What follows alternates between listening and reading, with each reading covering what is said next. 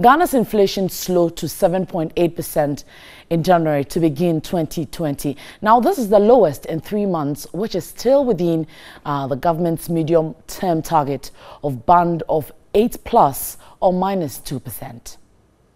The relative change between these two periods, that is a 111.6 and a 110.0, gives us a monthly inflation rate of 1.4%.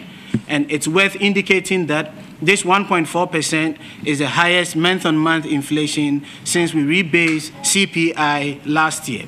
Inflation for November 2019 was 8.2%, while that of December was 7.9%. This year began with a slowed inflation of 7.8%. December 2018 as against December 2019, the year-on-year -year inflation as released in January this year was 7.9 and on year-on-year -year basis, that is January 2019 relative to January 2020, is 7.8%. This means that the general price levels have increased by 7.8% higher than the prices that we recorded in January 2019.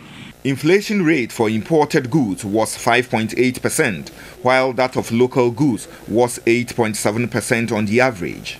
Since November last year, inflation rate for locally produced items has been higher than that of imported items. Since locally produced items took over imported items, the difference between these two sources of um, items have widened, and this is what we see happening in January 2020. So to make an argument from an exchange rate perspective, in terms of relative stability, we think that is one of the reasons why imported items have relatively stabilized with locally produced items inching up to 8.7%. CPI measures changes in the price of a fixed basket of goods and services purchased by households.